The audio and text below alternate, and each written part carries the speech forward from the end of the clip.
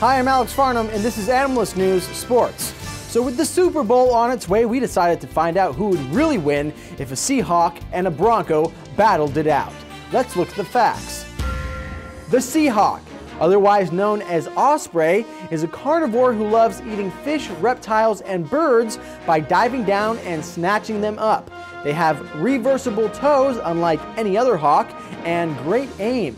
So, pretty much 70% of the time, they hit their target with their powerful talons. And their top speed is 80 miles per hour. Their only downside, they weigh about 4 pounds. Whoa, what a competitor. By any means, not mediocre. Now let's take a look at the Broncos. The Bronco, otherwise known as the untrained horse, is slower than an osprey with its approximate top speed at 50 miles per hour.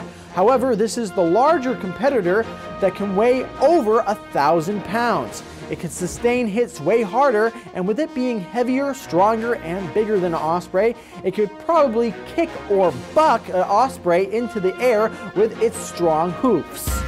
Whoa, all right, folks, now for the moment you've all been waiting for, let's take a look at the 2014 Super Bowl Animalist Supercomputer Game Day Simulation.